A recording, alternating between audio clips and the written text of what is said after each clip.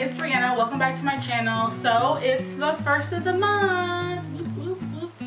I cannot believe it's already November. We are done with Halloween and we're just weeks away from Christmas and Thanksgiving and yay and holidays and family and woo and super exciting. Um, but that means that it's time for a, another favorites video. So I made a list of all my favorites for the month of October and I'm gonna share them with you. My favorite for the month of October for home is this Zydeco Chop Chop.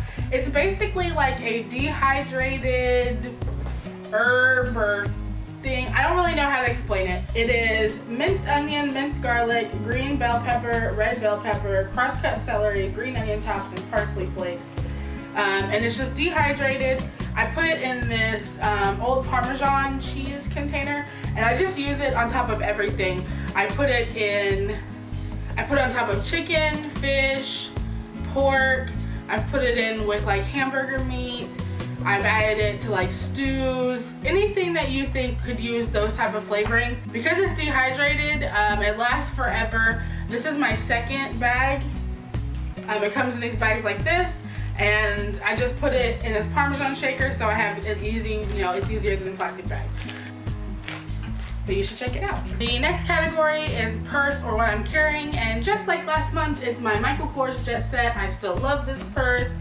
Um, I don't see that changing anytime soon. Cell phone case this month is this um, glitter apple one. I believe I got this as a gift for, for my birthday from one of my old coworkers. Um, it's just like a silicone, just a silicone case and it's actually kind of worn, but it does the job. My favorite song for the month of October is Blue Ain't Your Color by Keith Urban. I'll have a link for that song down below. It's just one of those ones when it comes on my Pandora or on the radio, I just can't help but sing along.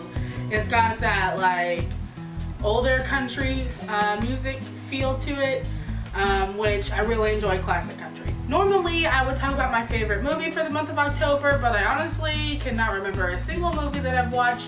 So instead, I'm gonna do TV show, and that is This Is Us. This premiere season, I actually had more TV shows being DVR'd than I have in forever. Like, I'm not really a TV watcher, um, but I got into This Is Us and I'm really liking it a lot. You should definitely check it out if you haven't already. My favorite food for the month of October are the, the Reese's Cups with the Reese's Pieces on the inside. I think I have a wrapper.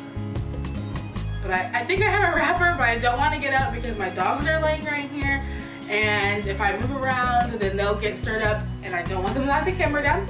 Um, but this is what it looks like and they are so good. Like I'm not really a fan of Reese's Pieces. Uh, I obviously love Reese's Cups. I mean, who doesn't? Unfortunately, it's something that I really can't eat as much as I want to because obviously it's really high in calories and fat and it goes against what I'm working towards. So, my alternate favorite is this Boom Chicka Pop in the caramel and cheddar flavored I picked this up on a whim from Randall's during my Grocery Wars episode and it's so good that I have looked into getting it for the Amazon um, Prime Pantry I think it's called where they ship to you like once a month or whatever. Um, and I'm, I'm probably gonna do that. Probably after January. So my favorite clothing item for the month of October just barely squeezing in on like the 30th are these llama pajamas super cute pattern. So I saw these being posted through my planner group because llamas are kind of like our mascot. And I was like, oh, I wonder if they have those in plus size. And usually Old Navy has matching pajamas throughout their whole line. So like children's, or at least little girl, women, and plus size will all have like the same patterns to choose from, um, in the past at least. But unfortunately, they did not have these in plus size. On Saturday, I went up to Old Navy and I bought these. And um, when I got home, I tried them on just to see how they fit. And they actually fit. So that's really exciting. I'm a little, you know, bootylicious, so they don't fit over my butt that great. Um, I think within the next like 20 pounds or so, they should fit perfectly and I cannot wait to wear them. My favorite memory for the month of October was the road trip I took with Jen S and Jen C to the Michaels headquarters for the Wildford Planners and Michaels meetup in Dallas. I really love getting to know more planner girls and spending time with them. I had such a great time on that trip. Favorite game is SimCity Build It. Um, I actually was surprised um, by how much I enjoy this game. Um, it looks just like SimCity and you just like have to like you click on these things and you make residential areas and um, all that stuff. My top video for the month of October was actually the meetup from Michaels. Um, the vlog that I did while I was there, it has like 178 views, which is crazy. So hello to all my new viewers who came just for that video. Surprise, surprise, my top Instagram post was also about the Michaels meetup. Um, I posted when my vlog went live and this is my uh, top Instagram post for the month of October. And my last favorite for the month of October is my planner fave.